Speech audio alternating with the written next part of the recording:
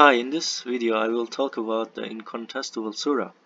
In the name of God, most gracious, most merciful. The in incontestable. What an incontestable. This, is truly incontestable. Thamud and Ad disbelieved in the shocker. As for Thamud, they were annihilated by the devastating quake. As for Ad, they were annihilated by a persistent, violent storm. He unleashed it upon them for seven nights and eight days violently. You could see the people tossed around like decayed palm trunks. Can you find any trace of them? Pharaoh and others before him and the sinners were wicked. They disobeyed the messenger of their Lord. Consequently, he requited them a devastating requital. the flood was devastating, so he carried you on the flooding.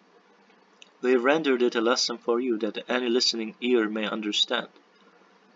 When the horn is blown once, the earth and mountains will be carried out, oh, carried off and crushed, utterly crushed. That is the day when the inevitable event will come to pass.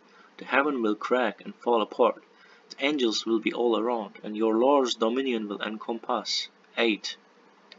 So here, here we see that God saved some people uh, from the that uh, torturing people so they torture them and they they're, they're sinners and they pressure them. So God saved them from others and God wants to see that how uh, good uh, they will commit.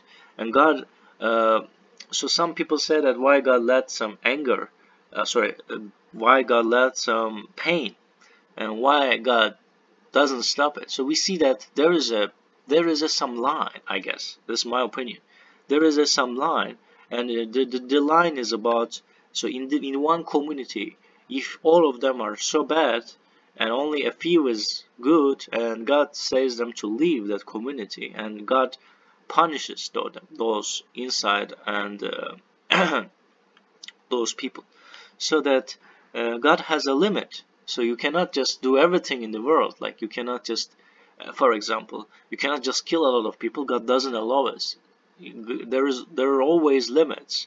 And once you attempt it, it's like a thing like the world is like a, some sort of uh, thing that the box of things and you God allows you only do those bad things for a while and if you keep trying to do it and then God will stop you and then that is like a and then you and those people will inevitably go to hell because they're pushing the sinner pushing to be sinner.